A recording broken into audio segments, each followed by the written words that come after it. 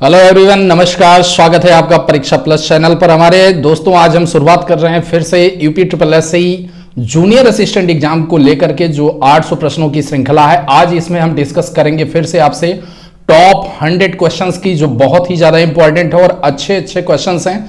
यानी, अगर आप इतनी देर हमारे साथ बने रहते हैं तो आप ये समझ लें कि आप अपनी हिंदी का एक अच्छा खासा पोर्शन रिवाइज कर रहे हैं। देर न करते हुए शुरुआत करते हैं एक बार फिर से और मैं आपसे फिर से बताना चाह रहा हूँ कि टीम परीक्षा प्लस आपके लिए रोज़ाना लगभग 800 प्रश्नों की यह श्रृंखला जो लेकर उतरी है, इसमें पूरे के पूरे आपके हिंदी से संबंधित सारे प्रश्न यूपी ट्रिपल एस के नए पैटर्न पर आधारित कंप्लीट होंगे।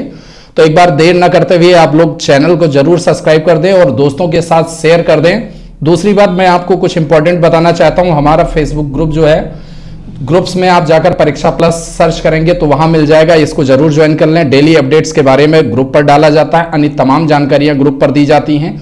उसके साथ ही साथ जितने भी ये पीडीएफ आपके हैं, जो भी ये पीडीएफ होते हैं हर दिन के, ये हमारे टेलीग्राम चैनल पर डाले जाते हैं। आप टेलीग्राम चैनल से जुड़ जाएँ, ज़रूर इसको ज्वाइन कर लें, ताकि आपको डेली बेसिस की हर दिन की पीडीएफ मिलती रहे। अगली अगर मैं बात करूँ तो यूट्यूब का जो ये हमारा चैनल है, परीक्षा प्लस इसको खुद सब्सक्राइब करिए, दोस्तों के साथ शेयर करिए, क्योंकि अब हम डेली बेसिस पर आपके 24 दिसंबर तक लगातार कुछ ऐसा फोकस करेंगे कि आपका पूरा का पूरा हर दिन हमारे साथ कुछ इंपॉर्टेंट क्वेश्चंस को लेकर बीते। अलग अलग सब्जेक्ट को सब्जेक्ट को लेकर के हम उतर रहे हैं UP triple S junior assistant को लेकर के। तब तक के लिए बहुत ज़रूरी है कि आप यूट्यूब की हर एक नोटिफिकेशन हमारा पाएँ।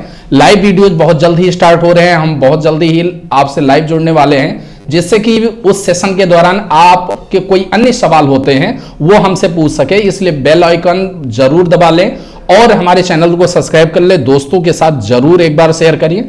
अगली बात, कुछ अन्य भी चीज़ें जो इंफॉर्मेशन होती हैं, वो वेबसाइट पर पीडीएफ के माध्यम से नोट्स के माध्यम से डाली जाती हैं। तो आप डेली बेसिस के लिए हमारी वेबसाइट पर भी विज़िट करते रहें। वहाँ पर भी आपको तमाम चीज़ें, जानकारियाँ मिलती रहेंगी। देर न करते हुए चलिए शुरुआत करते हैं आज के प्रश्न प्रश्नों की महत्वपूर्ण श्रृंखला से सबसे पहला क्वेश्चन नंबर एक है आपके सामने है। और इस क्वेश्चन का जवाब आपको देना है। आप कोशिश करें कि जल्द से जल्द कल टाइम में ही आप जवाब दे सकें। वो आपके लिए भी बेहतर होगा और आपका रिवीजन बेसिस भी। उसके साथ ही साथ मैं आपको कुछ और इंफॉर्मेशन दे रहा हूँ। पहले क्वेश्चन पढ़ते हैं। क्वेश्चन आपका कह रहा है पहला नंबर जिन वर्णों का उच्च, जिन वर्णों के उच्चारण में मुख से कम श्वास निकलती है उन्हें क्या कहते हैं? विकल्प आपके सामने है। ए, महाप्राण व्यंजन, बी अल्प प्राण व्यंजन, सी दे रखा है प्राण व्यंजन और डी दे रखा है उपरोक्त में से कोई नहीं। 10 सेकंड का मैं आपको मौका दे रहा हूँ। चलिए जल्दी से सोचिए और जवाब बताइए। कमेंट करते रहें, जहाँ पर भी बैठे कॉपी पेन लेकर बैठे हैं, वहाँ लिखते रहें।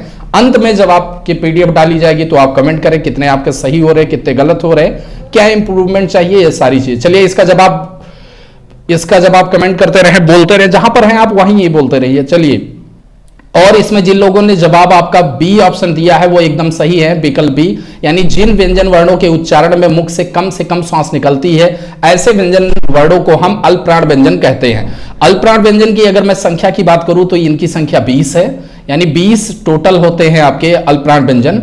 20 में अगर हम देखें तो आप, जो आपका वर्ग होता है, जैसे का वर्ग से शुरू हुआ ठीक है? और आप पा वर्ग तक जाएँगे तो पाँच गुड़े पाँच की ये मैट्रिक्स बनती है तो ये स्पर्श व्यंजन कहलाते हैं।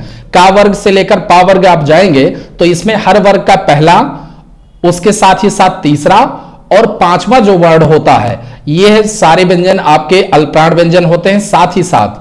अंतास्त व्यंजन जो चार होते हैं, या, रा, ला और वा, ये चारों भी आपके क्या होते हैं? ये अल्प्राण व्यंजन के अंतर्गत ही आते हैं। और इसके साथ एक आगत व्यंजनों में जो आपका ड़ा होता है यह भी आपके किसके अंतर्गत आता है? अल्प्राण व्यंजन के अंतर्गत आता है। तो कुल मिलाकर इनकी संख्या 20 होती है। उसके साथ ही साथ दोस्तों मैं आपको एक ज़रूरी इंफॉर्मेशन बता दूँ। टीम के द्वारा हमारे जूनियर असिस्टेंट को लेकर एक टेस्ट सीरीज़ चलाई जा रही है। इस टेस्ट सीरीज़ में टोटल जो आपको है दस, दस टेस्ट मिल रहे हैं। यह ऑनलाइन हमारे प्लेटफॉर्म पर होती है। आप चाहे बाद में इसका सोल्यूशन आपको पीडीएफ के फॉर्म में अच्छे से ऑफलाइन भी दे दिया जाएगा। साथ ही साथ सर, इसमें जो रीजनिंग सेशंस हैं, अन्य सेशंस हैं, उनकी वीडियो व्याख्या भी दी गई है। तो कोई भी दिक्कत होती है, वहाँ वीडियो से आप समझ सकते हैं। एक आपको जो है डीमो टेस्ट के तौर पर मिल जाएगा और साथ ही साथ सबसे ज़रूरी चीज़ है, आपके जूनियर असिस्टेंट से फोकस हम, आपको कुछ नोट्स प्रोवाइड कर रहे हैं, जो आपके एग्ज़ाम के लिए बहुत इंपॉर्टेंट है और ये सब कुछ आप जो है, इस नंबर पर कॉल करके पूछ सकते हैं, इसमें कैसे आपको एंट्री लेना है, इस नंबर पर आप व्हाट्सएप भी कर सकते हैं जूनियर असिस्टेंट टेस्ट करके, या कॉल करके इससे संबंधित इंफॉर्मेशन पूछ सकते हैं। चलिए, आगे बढ़ते हैं दोस्तों, अगले प्रश्न पर आप ये जो अगला हमारा प्रश्न है, प्रश्न दूसरा है आपके सामने, ओ और अ वर्ण क्या कहलाते हैं? चलिए, इनके अगर हम ऑप्शंस देखें, पहला ऑप्शन आपका कह रहा है ऑप्शन ए देखिए ऑप्शन ए बोल रहा है ओस्ट बी आपसे बोल रहा है कंठ तालब्बी और सी बोल रहा है आपका कंठोष्ट और डी बोल रहा है कंठस्थ। चलिए इसका जवाब फटाफट बोलते रहिए, जहाँ पर हैं आप मन में बोलिए या कमेंट करते रहिए। इन चारों में से इसका क्या जवाब होगा? उच्चारण से संबंधित प्रश्न है।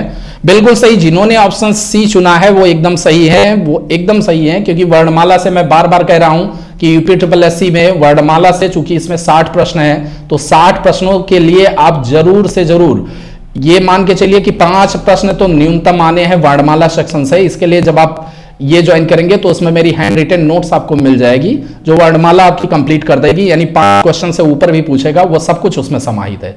तीसरे नंबर प्रश्न पर बढ़ते हैं। वर्तनी अशुद्धि से सवाल है, शुद्ध वर्तनी वाला शब्द कौन सा है? पहला ऑप्शन दे रखा है सुशक्ति दूसरा है सुशक्ति, तीसरा है सुषुप्ति, और चौथा है सुसप्ति। इन चारों में से चुनिए कौन सा है शुद्ध वर्तनी। कमेंट करते रहें। या जहाँ पर बैठे हैं, वहीं बोलते रहें, लिखते रहें कुछ भी इन चारों में से।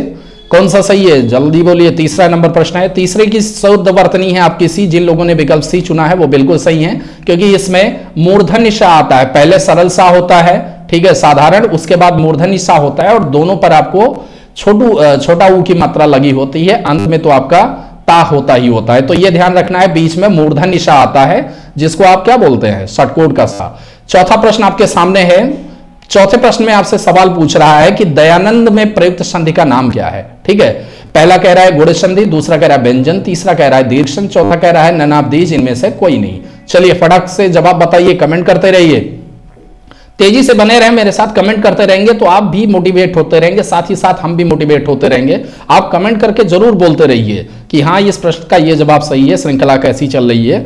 चलिए, दयानंद के बारे में अगर हम बात करें तो दयानंद में समाधि अगर संधि की बात करें तो सबसे पहले ये स्वर संधि के अंतर्गत आएगा। अब मैं आपसे स्वर संधि के अंतर्गत पूछूँ कि ये कौन सा भेद है तो ये दीर्घ संधि का भेद है, क्योंकि दयानंदी का जब आप संधि विच्छेद करेंगे तो दया, धन, आनंद बनेगा।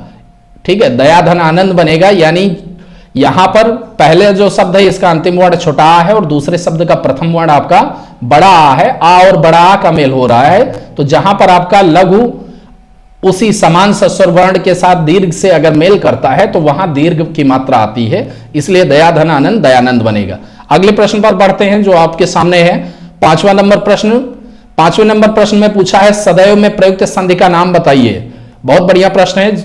ऑप्शन देखते हैं। पहला स्वर संधि, दूसरा कह रहा है विसर्ग, तीसरा कह रहा है दीर्घ संधि, चौथा कह रहा है व्यंजन संधि। इन चारों में से आपको जवाब बताना है कि कौन सा जवाब इसका सही है। चलिए फटाक से आंसर बोलते रहिए, फटाफट जवाब देते रहिए। पांचवा का जिन्होंने जवाब स्वर संधि यहाँ पर चुना है, वो बिल्कुल सही है, क्योंकि यह स्वर संधि का उदाहरण है सदैव। सदैव का अगर मैं संधि विच्छेद करूँ तो सदाधन एव इसका बनता है सदैव का। और यह भी मैं आपसे पूछूँ कि यह किस संधि का उदाहरण है तो स्वर संधि के अंतर्गत ये वृद्ध संधि का उदाहरण है। ठीक है, स्वर संधि के अंतर्गत ये वृद्ध संधि का उदाहरण आता है। चलिए प्रश्न छठे पर बढ़ते हैं। दूसरी चीज़ दोस्तों, चैनल नहीं सब्सक्राइब कर लिए, किया है तो ज़रूर सब्सक्राइब कर ले और साथ ही साथ बेल आइकन जो वहाँ होती है उसको पोस्ट कर ले, क्योंकि लाइव वीडियोस के नोटिफिकेशन आपको मिलते रहे। साथ ही टेलीग्राम चैनल से भी जुड़ जाइए, वहाँ पर आपको वीडियोज़ और उनकी पीडीएफ मिलती रहेंगी। चलिए आगे बढ़ते हैं। छठे नंबर प्रश्न पर आपके सामने है छठा नंबर प्रश्न। इत्यादि का सही संध विच्छेद क्या होगा? इत्यादि का सही संध विच्छेद क्या होगा? विकल्प आपके सामने है ए, इति धन याद, बी, इति धन आदि सी इत धन यदि चौथा कह रहा है कि इनमें से कोई नहीं। चलिए फटाक से जवाब इसका कमेंट करें, बोलते रहें, जो भी कर रहे हैं। इत्यादि का सही संध विच्छेद जिन्होंने विकल्प बी चुना है, वो बिल्कुल सही है। इत्यादि का अगर मैं संधि विच्छेद करूँ तो इति धन आदि होता है। ठीक है? इति धन आदि जब आप करेंगे तो इससे बनता है इत्यादि। क्योंकि यहाँ पर ई का मेल आ से हो रहा है, बड़ा आ से हो रहा है, और ये किस संधि के अंतर्गत है? अगर मैं संधि आपसे पूछूँ कमेंट करिए फट से। किस संधि का उदाहरण है? इत्यादि जो है आपका, ये यण संधि का उदाहरण है। ई को यण चीज़ का फार्मूला आप याद रखिए। चलिए अगले प्रश्न की ओर बढ़ते हैं। प्रश्न नंबर सात आपके सामने दिख रहा है। अनुनासिक का संबंध किससे होता है? पहला बोल रहा है केवल मुँह से, दूसरा बोल रहा है नाक और मुँह दोनों से, सी बोल रहा है केवल नाक से, डी बोल रहा है। इनमें से कोई नहीं, ये प्रश्न इससे पहले ही यूपी ट्रिपल एस में 2019 की परीक्षा में पूछा जा चुका है तो ये आपके लिए बहुत इंपॉर्टेंट है। बताइए, अनुनासिक का संबंध किससे होता है? बहुत सारे लोग गलतियाँ क्या करते हैं इसमें? कि अनुनासिक और अनुस्वार में वो अंतर नहीं समझ पाते हैं, जिसकी वजह से ये आसान सा प्रश्न वहाँ गलत करके चले आते हैं। और अगर सिलेक्शन लेना है तो आपको उन प्रश्नों को बिल्कुल नहीं गलत करना है, जो आपके लिए बहुत ज़रूरी है। चलिए, इसका जवाब कमेंट करिए, फटाक से बोलते रहिए। देखिए, अनुनासिक का संबंध होता है नाक और मुँह से। वह वर्ण जिनका उच्चारण करते समय वायु नाक और मुँह दोनों से निकलती है, वो अनुनासिक कहलाते हैं। दूसरी चीज़, अनुनासिक को दिखाने के लिए चंद्रबिंदु का इस्तेमाल किया जाता है। ठीक है चाँद बिंदी जो लगी होती है वर्णों के ऊपर यह अनुनासिक का संकेत होती है। समझ गए? चलिए, आगे बढ़ते हैं अगले प्रश्न की ओर। अगला प्रश्न आपके सामने है, प्रश्न नंबर आठ। चतुर्भुज शब्द में कौन सा समास है? चतुर्भुज शब्द में कौन सा समास है यह आपको बताना है। विकल्प है ए बहुबरी बी कह रहा है तत्पुरुष सी कह रहा है अव्ययी भाव डी कह रहा है दिगु। चारों में से जवाब कमेंट करिए, बोलते रहिए, लिखते रहिए। कौन सा जवाब इसमें सही है, बताएँ। चतुर्भुज, ये शब्द बहुत ज़्यादा इंपॉर्टेंट है बार बार ये रिपीट हो रहा है, लगातार इधर। ठीक है? चलिए, जिन्होंने विकल्प ए चुन लिया है, वो बिल्कुल सही है, क्योंकि चतुर्भुज का अर्थ होता है चार हैं बुझाए जिसकी। बहुत सारे लोग इसको दिगु समाज समझ बैठते हैं, क्योंकि दिगु का अर्थ होता है कि प्रथम पद अगर संख्यावाचक है तो वह दिगु समास होता है। दिग समास की यह परिभाषा है। लेकिन चतुर्भुज का अर्थ होता है चार हैं भुजाए जिसकी। यानी भगवान विष्णु को चतुर्भुज बोला जाता है तो यहाँ पर यह विशेष हो गया। ठीक है, चतुर्भुज का अर्थ भगवान विष्णु के लिए हो गया, इसलिए यहाँ पर बहुप्रिय है। लेकिन अगर कहीं बहुप्रिय ऑप्शन में नहीं है तो आप क्या लगाएँगे? दिग ही लगाएँगे वहाँ पर। ठीक है? अगले प्रश्न की ओर बढ़ते हैं। प्रश्न पूछ रहा है, प्रत्यय से संबंधित है, बहुत बढ़िया प्रश्न है। स्त्री जाति बनाने वाले तद्धित प्रत्यय। ठीक है? यानी संस्कृत के जो होते हैं, कौन से इनमें से नहीं आते हैं? विकल्प देखते हैं। ए कह रहा है आन, आ, बी कह रहा है आनी, सी कह रहा है ई, और डी कह रहा है वानी। इन चारों में से आपको चूज़ करना है। चलिए कमेंट करिए, जो लोग जान रहे हैं, जो नहीं जान रहे हैं, वो भी कमेंट करते रहे, बताते रहे, क्योंकि मैं जवाब दूँगा, वो तो आपका सही हुई हो जाएगा और दिमाग में बैठ जाए देखिए, इनमें से अगर मैं बात करूँ तो जिन्होंने विकल्प डी चुना है, वो बिल्कुल सही है। वाणी ऐसा कोई प्रत्यय नहीं है, तद्धित प्रत्यय का भेद, जो स्त्री जाति बनाने के लिए, बाकी आ है, ठीक है। आनी है ई है, लेकिन कहीं पर भी वाणी आपको प्रत्यय के तौर पर नहीं मिलेगा। अगले प्रश्न की ओर बढ़ते हैं। अगला प्रश्न आपके सामने है। बुद्धिमान में प्रत्यय है। ठीक है, अब आपको प्रत्यय बताना है। यहाँ पर एक शब्द दिया है। पहला कह रहा है ऑप्शन ए, आन। दूसरा कह रहा है ना। तीसरा कह रहा है मान। और चौथा कह रहा आ। चलिए जवाब कमेंट करिए फटाक से। जवाब देते रहे इसका साथ ही साथ। बोलते रहे, अन्य भी चीज़ें जो आपको पूछना है, वो कमेंट के माध्यम से बोलते रहे। जल्द ही लाइव हम मिलेंगे। वहाँ पर आप अपनी और समस्याओं को अच्छे से बता सकते हैं, ताकि मैं लाइव में ही आपके उन क्वेश्चंस को क्लियर करता चलूँ। चलिए, दसवें नंबर प्रश्न का जिन्होंने जवाब सी दिया है, मान प्रत्यय, वो बिल्कुल सही है, क्योंकि यही उत्तर आपका सही है। बुद्धिमान में मान प्रत्यय है, ठीक है? अगले प्रश्न की ओर बढ़ते हैं। अगला प्रश्न आपके सामने है, दुर्दिन में उपसर्ग कौन सा है? दुर्दिन जो शब्द है, इसमें उपसर्ग बताएँ, विकल्प आपके इस प्रकार हैं। विकल्प एक कह रहा है दुर, दू, बी कह रहा है दुर, सी कह रहा है आ, और चौथा कह रहा है ऊ। ठीक है, विकल्प डी कह रहा है आपका ऊ। चलिए इसका जवाब कमेंट करते रहें, फटाफट बताते रहें कि दुर्दिन में कौन सा आपका उपसर्ग है। उपसर्ग से दो और प्रत्यय से दो दो प्रश्न होंगे कम से कम साठ में। ये दिमाग में एकदम गांठ बना लीजिए। ठीक है? दो प्रश्न उपसर्ग से, दो प्रश्न प्रत्यय से होंगे ज़रूर। चलिए इसका जवाब देखते हैं। इसका जवाब आपका होगा बी, जिन्होंने दुर चुना है, दुर और दुस, दो आपके उपसर्ग होते हैं। तो जिन्होंने दुर चुना है, वो बिल्कुल सही है, क्योंकि इसका जवाब दुर ही है, दूर दुर्दिन में, दुर प्रत्यय है। अगली बात फिर से मैं बोल रहा हूँ कि यूट्यूब चैनल पर जो लोग अभी इस वीडियो को देख रहे हैं, ज़रूर सब्सक्राइब करें। जल्द ही लाइव क्लासेज हर एक सेशंस की आपको अलग अलग 50 क्वेश्चंस की या जितने इंपॉर्टेंट प्रश्न बन रहे हैं, उनकी स्टार्ट होंगी। तो उस लाइव सेशंस की आपको पहले से ही सूचना मिल जाए, इसके लिए ज़रूर चैनल सब्सक्राइब करें टेलीग्राम चैनल से भी जुड़ जाएँ। अगले प्रश्न की ओर बढ़ते हैं। प्रश्न नंबर 12 आपकी स्क्रीन पर है। 12 नंबर कह रहा है नी उपसर्ग नहीं है। किन चार शब्द दिए हैं? चारों में ढूंढना है। विकल्प देखते हैं। ए कह रहा है निरोध पी कह रहा है न्याय सी कह रहा है नेस्त और डी कह रहा है नीरस। चलिए जवाब इनका कमेंट करिए कि किसमें नी उपसर्ग आपका नहीं है। कौन सा ऐसा इसमें शब्द है जिनमें नी उपसर्ग शामिल नहीं है? चलिए, जो लोग विकल्प डी दे रहे हैं वो बिल्कुल सही है, क्योंकि यहाँ पर विकल्प डी में आप शब्द देखकर ही ढूंढ सकते हैं, क्योंकि आप यहाँ पर बड़ी की मात्रा लगी है, ठीक है, और रस एक अपने आप में पूर्ण अर्थ देने वाला शब्द है। तो यहाँ से अगर थोड़ा सा दिमाग लगाए, व्याकरण में ना जाए, तब भी आप इसका विकल्प निकाल सकते बाकी निरोध में, नी प्रत्यय है, न्याय में, नी धन आय करेंगे, तब न्याय बनेगा, ठीक है, यहाँ संधि के अंतर्गत। नेस्त भी वही है नी धन अस्त करेंगे तो नेस्त बनेगा। ठीक है तो ये सारे जो आपके अन्य विकल्प दिए हैं, वो सब नी प्रत्यय से बने हैं। अगला प्रश्न, संख्या तेरह आपकी स्क्रीन के सामने है। तेरह नंबर कह रहा है, अपनी ही कोख में जन्मी औलाद है। उत्पत्ति या स्रोत के आधार पर कोख शब्द किस प्रकार का शब्द है? ठीक है, उत्पत्ति या स्रोत के आधार पर कोख शब्द किस प्रकार का शब्द है? यह चुनना है, विकल्प आपके सामने इस प्रकार है। ए तत्सम, बी तद्भव, सी देशज डी विदेशज चलिए ऑप्शन फटाक से इसका जो सही है, कोख शब्द कैसा है? तत्सम है, तद्भव है देशज है विदेशज है। इन चारों के आधार पर आपको कमेंट करना है। हाँ जो लोग जान रहे हैं, बिल्कुल सही, वो तुरंत कमेंट करें। बाकी जिन्होंने जवाब दे रखा है, अगर मैं इसके तद मतलब सही विकल्प के बारे बात करूँ तो इसका विकल्प बी सही है, तद्भव शब्द है। अब जिन्होंने जवाब दिया है, उनसे मैं फिर से पूछना चाहता हूँ कोक शब्द का तत्सम शब्द क्या होगा? कोक शब्द का तत्सम शब्द होता है कुक्षी। ठीक है? कुक्षी शब्द इसका तत्सम होता है कोक का। चलिए अगले प्रश्न की ओर बढ़ते हैं। अगला प्रश्न प्रश्न संख्या चौदह आपकी स्क्रीन पर है। चौदह नंबर कह रहा है, न्यून का विलोम क्या होगा? चौदह नंबर प्रश्न जो है आपके सामने यह बोल रहा है कि न्यून का विलोम क्या होगा? विकल्प इस प्रकार आपके सामने दिए हैं। पहला दे रहा है अधिक, दूसरा दे रहा है कम, तीसरा दे रहा है तरल, और चौथा दे रहा है सरल। इन चारों में से आपको सही चुनना है। चारों में से सही जो आपको लगता है, चलिए वो लोग जवाब कमेंट करते रहे। इन चारों में से कौन सा विकल्प सही है? न्यून के विलोम के लिए।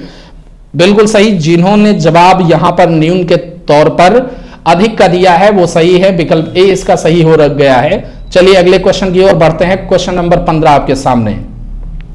किसी वस्तु को प्राप्त करने की तीव्र इच्छा क्या कहलाएगी? ठीक है विकल्प इस प्रकार, ए कह रहा है जिजीप्सा, बी कह रहा है जिज्ञासा, सी कह रहा है अभिप्सा, डी कह रहा है अच्युत। इन चार ऑप्शन में से आपको सही विकल्प बताना है और प्रश्न इस प्रकार है कि किसी वस्तु को प्राप्त करने की तीव्र इच्छा। चलिए फटाक से बताइए, तुरंत कमेंट करिए। इसका सही विकल्प जिन्होंने सी चुना है, वो बिल्कुल सही है, क्योंकि किसी वस्तु को प्राप्त करने की तीव्र इच्छा अभिप्सा कहलाती है। जिजिप्सा के बारे में जीने की इच्छा, जिज्ञासा, प्रश्न पूछने की इच्छा, कुछ अचित भी वही चीज़ें होती है, ठीक है? तो चलिए, इस पर अगले प्रश्न की ओर बढ़ते हैं। अगला प्रश्न 16 नंबर आपके सामने है। 16 नंबर इस प्रकार प्रश्न है, जिस पर मुकदमा चल रहा है यह अनेक शब्दों से लेकर एक शब्द है, कम से कम चार प्रश्न आपको मिलेंगे साठ में, ठीक है? साठ प्रश्नों में चार प्रश्न यहाँ से होंगे। कह रहा है, जिस पर मुकदमा चल रहा है, विकल्प इस प्रकार है, ए कह रहा है वादी, बी कह रहा है अभियुक्त, सी कह रहा है अनाहुत, डी कह रहा है अमानुषिक। इन चारों में से सही विकल्प चुनिए और सही विकल्प चुन के आप कमेंट करिए। या जिस भी माध्यम से आप इस सीरीज़ को लेकर क्विज को लेकर चल रहे हैं, वो आप, माध्यम आप ज़रूर दर्शाते रहे। 16 नंबर प्रश्न का जवाब जिन्होंने बी दिया है, बिल्कुल सही है, क्योंकि जिस पर मुकदमा चलता है, उसको अभियुक्त कहते हैं। और मान लो मुकदमा नाम मैं यहाँ पर अभियोग लिख दू, तब बताइए। अगर मैं यहाँ लिख दू जिस पर अभियोग चल रहा है, तब इसका जवाब क्या होगा? कमेंट करिए। ये कमेंट करके आप बताइएगा, इसका मैं अगले, जो है आपकी सीरीज़ में बताऊँगा, जिस पर अभियोग चल रहा है, वो क्या कहलाएगा? चलिए, प्रश्न नंबर सत्रह आपके सामने है स्क्रीन पर। प्रश्न नंबर सत्रह में फिलअप के तौर पर है। देखिए, इसमें कह रहा है, आपसे सादर, फिर बीच में आपको गैप दे रखा है, वहाँ पर कुछ फिल करना है। आगे के वाक्य में उसने लिखा है, आपसे सादर है कि आप हमारे यहाँ मुख्य अतिथि बनकर पधारे। पहला अनुरोध, बी कह रहा है अनुग्रह, सी कह रहा है अभिलाषा डी कह रहा है विनय। इन चारों में से आपको विकल्प चुनना है, जो यहाँ पर फिल करने के लिए सबसे उपयुक्त हो। तो जिन्होंने विकल्प ए चुन लिया है, वो बिल्कुल सही है। आपसे सादर अनुरोध है कि आप हमारे यहाँ मुख्य अतिथि बनकर पधारे। प्रश्न नंबर अट्ठारह एक बार फिर से आपके स्क्रीन के सामने है। मैं फिर से बता दे रहा हूँ दोस्तों, जो आपकी टेस्ट सीरीज़ अभी चल रही है हमारी जो है टीम के द्वारा, ये टेस्ट सीरीज़ आपके लिए बेहद फ़ायदेमंद होगी।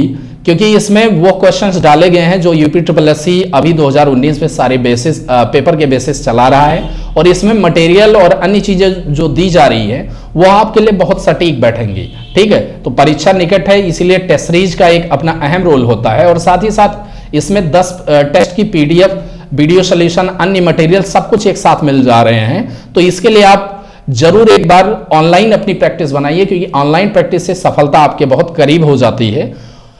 बाकी अगले प्रश्न की ओर बढ़ते हैं। प्रश्न नंबर जो आपका अगला है, चलिए इसको देखते हैं। 18 नंबर प्रश्न आपकी स्क्रीन के सामने है और इसका जवाब आपको तुरंत दिमाग में आने लगा होगा क्योंकि यह प्रश्न इससे पहले वीडियो की परीक्षा में पूछा भी गया है और थोड़ा यह प्रश्न इंपॉर्टेंट भी है। चलिए, प्रश्न कह रहा है, इसको देखते हैं। सैतान की याद का अर्थ क्या है? ठीक है सैतान की याद का अर्थ क्या है? इस प्रश्न के बारे में हमें बताना है।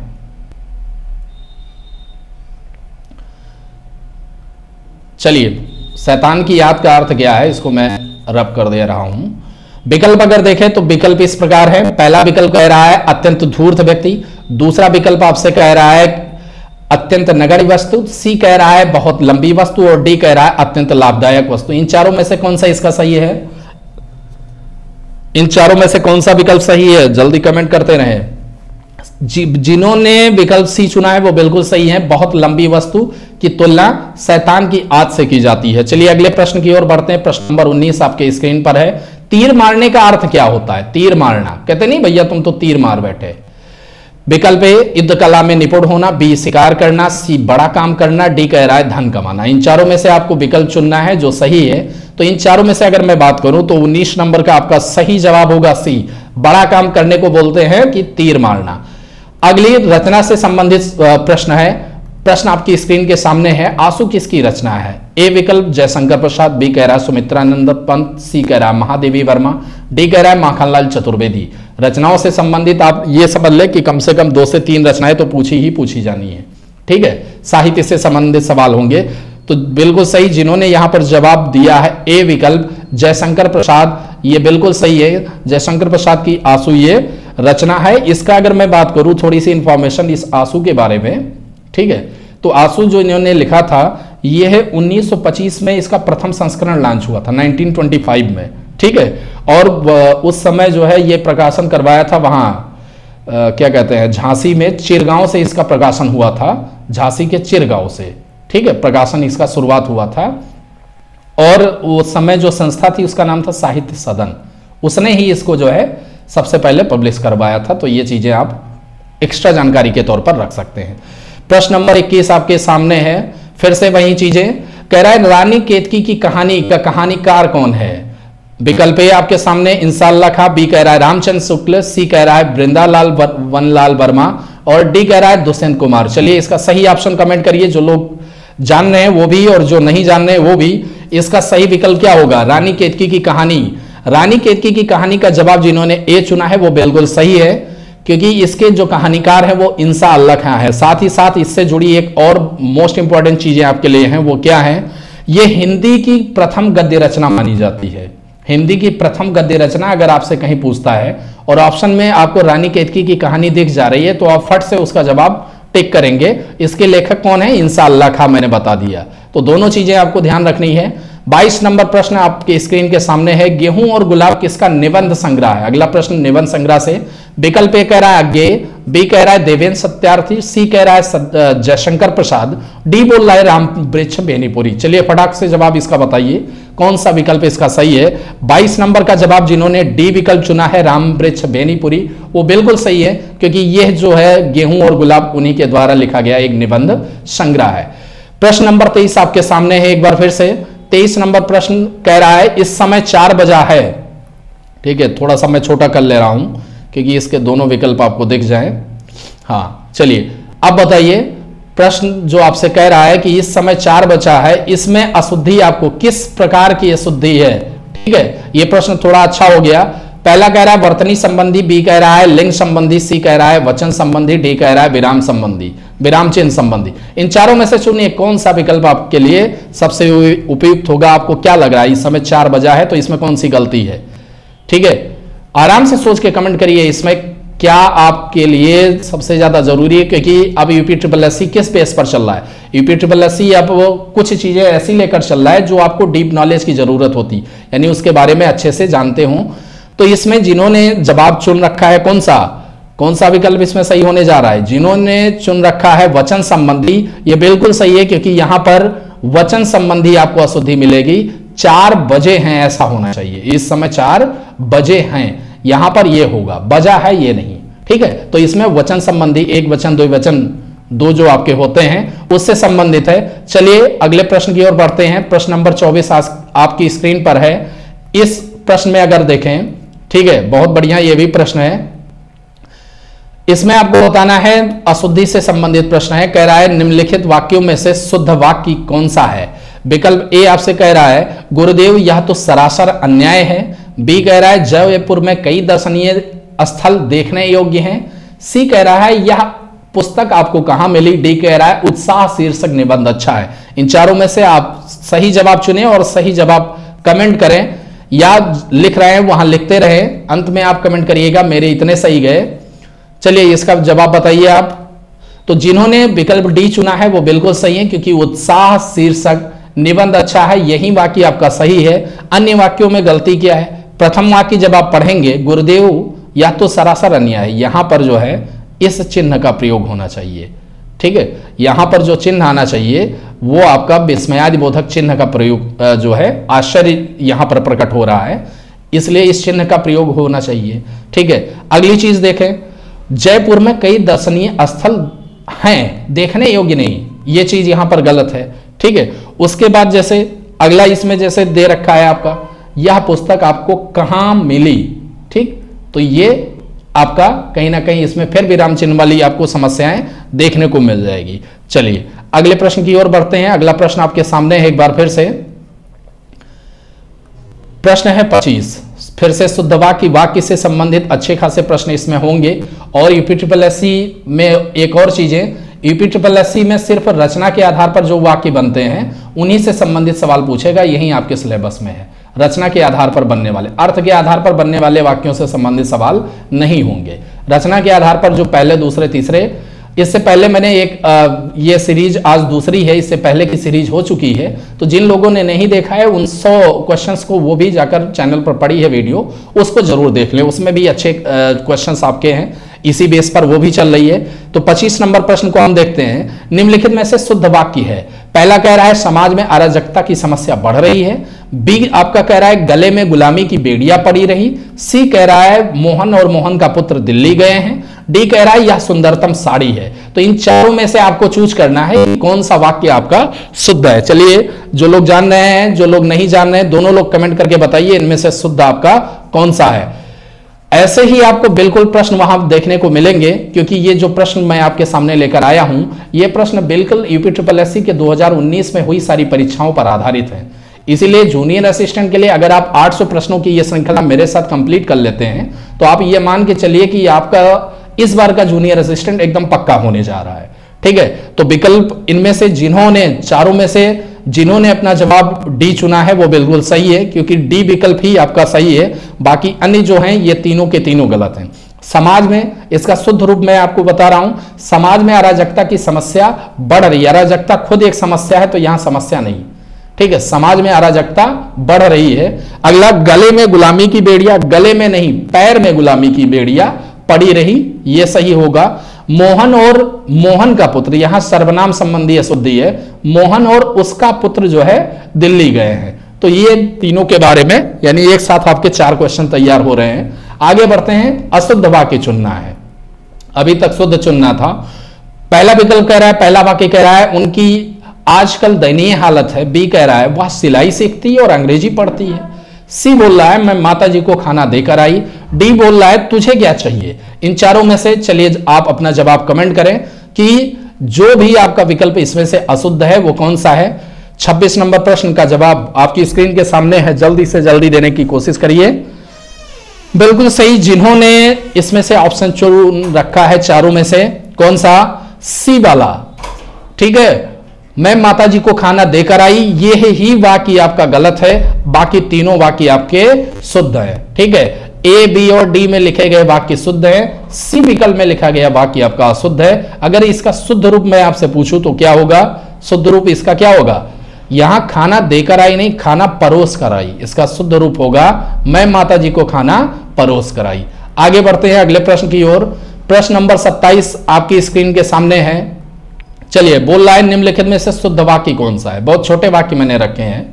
ए कह रहा है दान दिया बी कह रहा है प्रयोग होना सी कह रहा है प्रश्न पूछना डी कह रहा है प्रतीक्षा करना। इन चारों में से कौन सा आपका विकल्प सही है, इस चीज़ को आपको बताना है। चलिए सोचिए अच्छे से और फिर इसका जवाब कमेंट करिए। दान दिया, प्रश्न पूछना, प्रयोग होना प्रतीक्षा करना, इन चारों में से कौन सा विकल्प सही है? ठीक है, शुद्ध वाक्य आपको बताना है। बिल्कुल सही। इनमें जिसने भी विकल्प आपका डी चुना है, वो लोग बिल्कुल सही हैं, वो बिल्कुल करेक्ट हैं। प्रतीक्षा करना अपने आप में सही है। बाकी दान दिया नहीं, दान किया जाता है। प्रश्न पूछना नहीं, प्रश्न करना शुद्ध होता है। ठीक है? प्रयोग होना नहीं, प्रयोग करना शुद्ध होता है। तो ये आपके अन्य के शुद्ध रूप हो गए। चलिए अगले प्रश्न की ओर बढ़ते हैं। स्क्रीन के सामने है अट्ठाईस नंबर प्रश्न आपका। हर शब्द का अर्थ क्या है? पहला कह रहा है विष्णु, दूसरा कह रहा है शिव तीसरा कह रहा है, इंद्र, चौथा कह रहा है ब्रह्मा। बताइए, हर शब्द का अर्थ क्या है?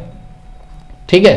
तो बिल्कुल सही, जिनके दिमाग में घूम गया होगा हर हर, ठीक है? महादेव, वो बिल्कुल समझ गए हैं, क्योंकि हर शब्द बोलते हैं किसको? शिव को, महादेव को बोलते हैं। और अगर मैं आपसे पूछूँ, हरि? हरि किसका अर्थ है? तो विष्णु हो जाएगा। चलिए, आगे बढ़ते हैं। प्रश्न नंबर उनतीस आपके स्क्रीन के सामने, एक बार फिर से। इनमें से सारंग किस अर्थ को व्यक्त नहीं करता? यानी सारंग का आपको अनेकार्थी शब्द इनमें से कौन सा नहीं मिल रहा है, उसको चुनना है। पहला कह रहा है धनुष, बी कह रहा है बाण, सी कह रहा है हिरण डी कह रहा है भ्रमर। इन चारों में से चुनिए कि सारंग का अर्थ कौन सा नहीं है। चलिए जवाब कमेंट करिए। जो लोग जुड़े हैं लगातार, अपने दोस्तों को भी ये वीडियो ज़रूर शेयर करें। 800 प्रश्नों की जो श्रृंखला चल रही है, हर एक प्रश्न की जो 100 की होती है टेलीग्राम चैनल पर आपकी पीडीएफ डाल दी जाती है। आप टेलीग्राम चैनल इस वीडियो को देखकर ज्वाइन कर लें। वहाँ पर आपको ये पीडीएफ मिल जाएगी। और अन्य भी जो मटेरियल होते हैं, वो टेलीग्राम चैनल पर ही मिलते रहते हैं। अन्य जानकारियाँ उसी पर उपलब्ध रहती रहे, रहती हैं। फेसबुक पेज पर भी आपको मिल जाएगा। फेसबुक वो ग्रुप पर भी, उससे भी जुड़ जाए। तो उनतीस का जिन्होंने जवाब भी दिया है, वो बिल्कुल सही है। बाण जो है, वो सारंग का अर्थ नहीं होता है। बाकी तीनों, धनुष हिरन और भ्रमर सारंग के अर्थ होते हैं। प्रश्न तीस आपके सामने है। प्रश्न नंबर तीस कह रहा है, निम्नलिखित विकल्पों में से चीवर शब्द का सही तात्पर्य चयन करिए। ये प्रश्न मैं छोटा कर रहा हूँ कि आपको भी दिखने लगे इसके चारों विकल्प। इनमें देखिए, इसके विकल्प इस प्रकार है। विकल्प ए कह रहा है, चीवर कार चीरने वाला हथियार होगा। बी कह रहा है, बौद्ध भिक्ष का वस्त्र होगा। सी कह रहा है, चीरा जाने वाला वस्त्र होगा। डी कह रहा है, उपयुक्त में से कोई नहीं। तो चलिए कमेंट करिए। इसका चीवर का अर्थ क्या होगा? तो जिन्होंने बी विकल्प चुना है, वो बिल्कुल सही है। बौद्ध भिक्षु के वस्त्र को क्या बोलते हैं? चीवर बोला जाता है। चलिए, अगले प्रश्न की ओर बढ़ते हैं। प्रश्न संख्या आपकी इकतीस स्क्रीन के सामने आ रही है। प्रश्न संख्या इकतीस में आपको बताना है, प्रवंचना का समानार्थी शब्द कौन सा है? प्रवंचना का समानार्थी आपको चुनना है। ठीक है, यानी ऐसा शब्द जो उसी का मतलब उसी शब्द का अर्थ दे। विकल्प ए कह रहा है ठगी या धूर्तता, बी कह रहा है मित्रता, सी कह रहा है सहायता, डी कह रहा है उपयुक्त सभी इन चारों में से आपको चूज़ करना है कि कौन सा विकल्प आपका उचित है। प्रवंचना का समानार्थी। बिल्कुल सही, इकतीस नंबर का जवाब जिन्होंने क्या चुना रखा है? चुन रखा है। जिन्होंने ए विकल्प चुन रखा है, वो बिल्कुल सही है। प्रवंचना का अर्थ होता है ठगी या धूर्तता, इसको प्रवंचना कहते हैं। अगला प्रश्न आपके स्क्रीन पर है, बत्तीस नंबर प्रश्न है। बत्तीस नंबर प्रश्न कह रहा है, हमसे किताब पढ़ी जाती है, इस वाक्य में वाच्य आपको फाइंड आउट करना है, ठीक है? व्याकरण व्याकरणिक कर्णिक कोटियों से संबंधित सवाल होंगे। व्याकरणिक कोटियों से संबंधित, कम से कम आप दस सवाल तो मान ही सकते हो। तो वाच्य भी व्याकरणिक कोटियों के अंतर्गत आता है। विकल्प ए कह रहा है कृतवाच्य बी कह रहा है कर्मवाच्य सी कह रहा है, भाववाच्य डी कह रहा है, कोई नहीं, इन चारों में से चूज़ करना है, हमसे किताब पढ़ी जाती है। तो जिन्होंने बिल्कुल सही विकल्प बी को चुन रखा है, वो एकदम सही है। यहाँ पर किताब पढ़ी जाती है, इसी पर मेन फोकस है, ठीक है, इसलिए इसमें कर्मवाच्य होगा। अगला प्रश्न कह रहा है, कर्मवाच्य का उदाहरण आप खुद पहचानिए, चारों में से। विकल्प ए कह रहा है, उससे पत्र लिखा जाता बी कहता है, प्रभा कपड़े धोती है सी कहता है, नवल कविता पढ़ता है डी कहता है, राम से दौड़ा नहीं जाता। तो इन चारों में से आपको चूज़ करना है कौन सा विकल्प आपके लिए उचित है। चलिए तो इसमें कौन सा विकल्प उचित होगा? ए विकल्प जिन्होंने चुना है वो बिल्कुल सही है। कर्मवाची का उदाहरण, यहाँ पर देखिए पत्र लिखा जाता है। भले ही उससे जोड़ दिया, लेकिन मेन फोकस पत्र पर है, पत्र लिखा जाता है। अगले प्रश्न की ओर बढ़ते हैं। अगला प्रश्न कह रहा है, चौतीस नंबर। यह भी वाची से संबंधित प्रश्न है और खासकर भाववाची से। अमन नहीं चलता है। इस वाक्य को भाववाची में बदलना है आपको, उसका रूप कौन सा सही होगा? विकल्प देखते हैं। अमन से चला नहीं जाता, बी कहता है अमन चलता है, सी कहता है अमन चला नहीं चला सकता है, डी कहता है अमन चलता ही नहीं। तो इन चारों में से आपको बताना है कि इसका भाववाची कौन सा होगा। वाच्य से संबंधित फिर से अगला प्रश्न है। तो जिन्होंने विकल्प ए चुना है, वो बिल्कुल सही है। अमन से चला नहीं जाता, यही इसका आपका विकल्प सही होगा। प्रश्न संख्या 35 आपकी स्क्रीन के सामने पर है। बहुत बढ़िया प्रश्न है। शब्द शुद्धि से है वर्तनी। निम्न में से सही शब्द शुद्धि का चुनाव करें। ए विकल्प कह रहा है वर्तन बी कह रहा है वर्तन सी कह रहा है बर्तन और डी कह रहा है बर्तन। इन चारों में से बर्तन की शुद्ध, आपकी शब्द क्या होगा? शुद्ध वर्तनी क्या होगी? वो चुनना है। चलिए कमेंट करिए फटाफट, जवाब देते रहे। और बिल्कुल सही, जिन्होंने विकल्प डी चुना है, वो एकदम सही है, क्योंकि बर्तन की शुद्ध जो वर्तनी होती है, वो विकल्प डी में लिखी गई है। ठीक है? अगले प्रश्न की ओर बढ़ते हैं। अगला प्रश्न आपकी स्क्रीन के सामने है, सैंतीस नंबर का प्रश्न।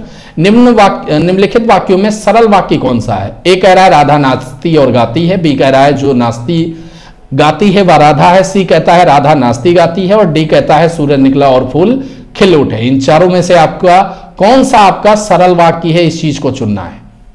ठीक है? सरल वाक्य कौन सा है? सरल वाक्य वह वाक्य होते हैं जिनमें एक आपका क्या हो? उद्देश्य हो और एक ही विधेय हो। ऐसे वाक्यों को सरल वाक्य कहा जाता है। ठीक है? साधारणतया या साधारण वाक्य। आप प्रश्न, जो विकल्प सी में लिखा वाक्य इसको देखिए। यह सरल वाक्य का उदाहरण है। अगले प्रश्न की ओर बढ़ते हैं। प्रश्न नंबर अड़तीस आपकी स्क्रीन के सामने पर है। निम्न वाक्यों में मिश्र वाक्य कौन सा नहीं है? नहीं है यह आपको फाइंड आउट करना है। कौन सा मिश्र वाक्य नहीं है? पहला विकल्प कह रहा है, विशाल ने जो मोबाइल खरीदा वह नया है।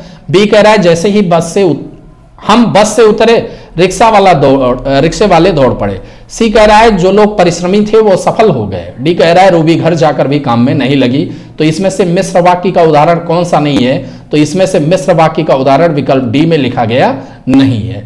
चलिए अगले प्रश्न की ओर बढ़ते हैं। उनतालीस नंबर प्रश्न कह रहा है, पूर्व में पत्र लेखन से संबंधित मैं बार बार बोल रहा हूँ। पत्र लेखन से कम से कम तीन प्रश्न और तीन से पाँच के बीच में पत्र लेखन से साठ प्रश्नों में आपके शामिल होंगे। ठीक है? पत्र लेखन की मेरी लेक्चर जो है, इसी चैनल पर पड़ा हुआ है, आप जाकर वहाँ से देख सकते हैं। आप यूट्यूब चैनल पर जाकर के पत्र लेखन की मैंने पीडीएफ शेयर की है, ग्यारह बारह पेज की। ठीक है? प्रिंटेड है अच्छी। वहाँ से देख सकते हैं पत्र लेखन से संबंधित कोई भी क्वेश्चन नहीं छूटेगा। अगर आप वो मेरी लेक्चर देख लेते हैं, साथ ही साथ वो मेरी पीडीएफ पढ़ लेते हैं। ठीक है? तो क्वेश्चन देखते हैं, पूर्व में प्रेषित पत्र को याद दिलाने के लिए भेजा जाने वाला पत्र क्या कहलाता है? ए है परिपत्र बी है निविता सी है विज्ञप्ति डी है अनुस्मारक। अगर आपको पहले कोई पत्र भेजा गया है यह कार्यालय कार्यकाज में होता है, और फिर उस पत्र पर कोई अगर प्रतिक्रिया नहीं मिलती है तो फिर से एक पत्र भेजा जाता है, उस पत्र को अनुस्मारक कहा जाता है। ठीक है? अगले प्रश्न की ओर बढ़ते हैं। व्यवसायिक एवं प्रशासनिक क्षेत्र में पत्र लेखन का कार्य क्या है? ठीक है, चाहे व्यवसायिक है बिज़नेस से संबंधित है, या एडमिनिस्ट्रेशन से संबंधित है, प्रशासनिक प्रशासन क्षेत्र से संबंधित है तो उसमें पत्र लेखन का मतलब क्या है? आजकल इतनी हाईटेक चीज़ें हैं, ठीक है तो वहाँ पत्र लेखन की क्या ज़रूरत है? विकल्प देख लेते हैं ए कह रहा है अस्थायी प्रलेख का बी कह रहा है कुशल क्षेम पूछने का सी कह रहा है शिष्टाचार निभाने का डी कह रहा है आमंत्रण देने का, ठीक है? तो अगर व्यवसाय एवं प्रशासनिक क्षेत्र की मैं बात करूँ तो यहाँ पत्र लेखन का मतलब होता है अस्थायी प्रलेख का। आपके पास एक ऐसा दस्तावेज़ है जो अस्थाई है, उसमें सारी चीज़ें जो लिखी गई हैं, वो सब कुछ हैंड रिटर्न है, ठीक है? आप बाद में ऐसा नहीं मुकर सकते अपने फ़ोन पर मैंने ऐसा नहीं कहा था। इसीलिए ये सारी चीज़ें इस्तेमाल होती। चलिए अगले प्रश्न की ओर बढ़ते हैं। प्रश्न नंबर इकतालीस, फिर से पत्र से संबंधित आपके सामने है। कार्यालय पत्र में सबसे ऊपर क्या लिखा जाता है?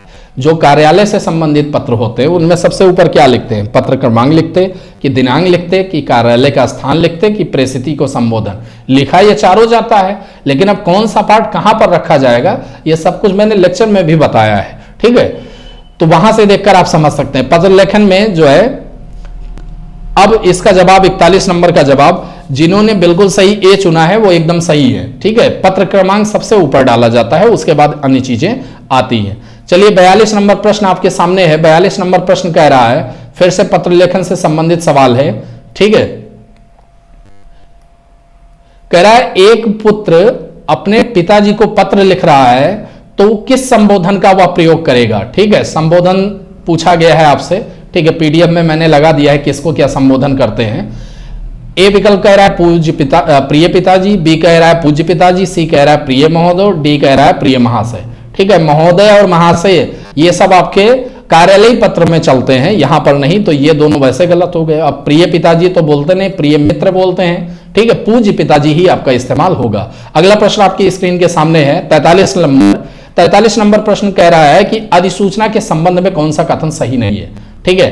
अधिसूचना नोटिफिकेशन अंग्रेज़ी में इसको बोलते हैं, इसके संबंध में कौन सा कथन सही नहीं है, वो आपको ढूंढना है। ए कह रहा है, इनमें सरकारी आदेशों, नियमों आदि की घोषणा होती है। बी कह रहा है, इसका संबंध आम जनता और संबंधित व्यक्तियों से होता है। सी बोल रहा है, इसे राजपत्र व समाचार पत्रों में प्रकाशित किया जाता है। डी कहता है, प्रथम पुरुष शैली में ये लिखा जाता है। इन चारों में से कौन सा विकल्प आपका गलत है? वो चीज़ आपको चुनना है तो बिल्कुल सही उनका जवाब होगा जिन्होंने डी चुना है। क्योंकि ये जो वाक्य लिखा है, ये गलत है। जो अधिसूचना होती है, ये हमेशा अन्य पुरुष शैली में लिखी जाती है, प्रथम पुरुष शैली में नहीं। ठीक है? अधिसूचना हमेशा अन्य पुरुष शैली में लिखी जाती है। अगले प्रश्न की ओर बढ़ते हैं। अगला प्रश्न कह रहा है, यदि कोई पत्र सभी संबद्ध कार्यालयों को प्रेषित किया जाता है तो उसे क्या कहते हैं? विकल्प इस प्रकार है। व्यक्तिगत पत्र, बी कह रहा है कार्यालय आदेश, सी कह रहा है अधिसूचना, डी कह रहा है परिपत्र। इन चारों में से आपको चूज़ करना है। कौन सा विकल्प आपका बिल्कुल सही है? तो बिल्कुल सही जिन्होंने आपका चूज़ किया है डी ऑप्शन, वो बिल्कुल सही है, क्योंकि परिपत्र एक ऐसा पत्र होता है, जब कोई सूचना एक साथ सभी विभागों, प्रभागों या कार्यालयों को भेजना हो, जानकारी देनी हो तो उसके लिए परिपत्र जारी किया जाता है। ठीक है सर्कुलर जारी किया जाता है। 45 नंबर प्रश्न आपके सामने फिर से स्क्रीन पर है। हिंदी कहानी का विकास किस पत्रिका पत्रिका के प्रकाशन से प्रारंभ होता है? ए कह रहा है बनारस अखबार, बी कह रहा है नागरिक प्रसारणी पत्रिका, सी कह रहा है सरस्वती, डी कह रहा है हिंदू इन चारों में से आपको चुनना है। ये साहित्य के इतिहास से संबंधित प्रश्न आपके सामने है। चलिए कमेंट करते रहिए, बोलते रहिए। भाई एनर्जी नहीं लूज करनी है। बोलते रहिए। 45 का जवाब जिन्होंने सी चुना है, सरस्वती नामक पत्रिका जो थी इसी पत्रिका का को यह श्रेय जाता है कि हिंदी कहानी इसके बाद ही आरंभ हुई। ठीक है, सरस्वती नामक पत्रिका से। अगले हम बढ़ते हैं अगले प्रश्न की ओर। विद्यापति किस रचना से मैथिल कोकिल के नाम से प्रसिद्ध हुए हैं? इसको आपको बताना है मैथिल कोकिल, क्योंकि ये मैथिली के कवि हैं। ठीक है तो किस रचना से ये फ़ेमस हुए? विकल्प दे रखा पदावली, बी दे रखा कीर्ति लगा पताका, सी दे रखा है विभाग सार डी कह रहा है अन्य कोई ऐसा है तो इनमें से आपको चूज़ करना है। छियालीस नंबर का जवाब जिन्होंने ए दिया है, पदावली। ठीक है? पदावली एक इनकी ऐसी रचना है जिससे इनको बहुत ज़्यादा प्रसिद्धि मिली और ये इस रचना के बाद मैथिल कोकिल के नाम से जाने जाले। अच्छा एक खास बात यह भी है पदावली में कि पदावली इन्होंने जो लिखा था विद्यापति ने, ठीक है? ये पदावली इन्होंने हिंदी में रचना की थी। तो एक जानकारी इससे जुड़ी ये है। अगला क्वेश्चन आपके सामने है भाषा से संबंधित प्रश्न है आपके। मगही किस उपभाषा की बोली है? ठीक है? उपभाषा और फिर बोली। ठीक है? भाषा से छोटी उपभाषा, वो उससे छोटी बोली। तो बढ़िया प्रश्न पूछ लिया। मगही, ए कह रहा है राजस्थानी, बी कह रहा है पश्चिमी हिंदी, सी कह रहा है पूर्वी हिंदी, डी कह रहा है बिहारी। इन चारों में से आपसे चूज़ करना है तो सैतालीस नंबर का जवाब बताइए फटाफट, बोलिए। मगही अगर देखें किस उपभाषा के अंतर्गत आती है तो ये बिहारी। ठीक है? ये आपका सही होगा, विकल्प डी। तो विकल्प डी जिन्होंने चूज़ किया है, वो सही है। अगर बिहारी उपभाषा के अंतर्गत और मैं देखूँ कौन कौन सी भाषाएँ आती हैं तो इसमें एक आपकी आती है ये भोजपुरी, और दूसरी आपकी जो भाषा इसके अंतर्गत आती है, वो आती है मैथिली। तो आपसे कभी मान लीजिए पूछ भी, ये भी सवाल आ जाए कि बिहारी उपभाषा के अंतर्गत कितनी बोली आती? तो तीन।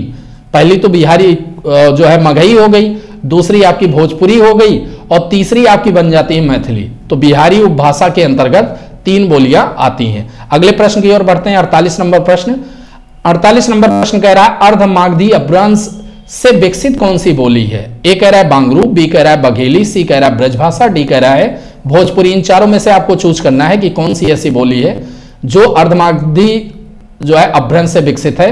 तो बिल्कुल सही, जिन्होंने जवाब 48 नंबर का जवाब बी विकल्प चुना है, बघेली। ठीक है, वो एकदम सही है। अर्धमागधी जो अभ्रंश है, ये बघेली बोली से विकसित हुआ है, ठीक है? उससे विकसित बोली बघेली है। बघेली का मतलब क्या होता है?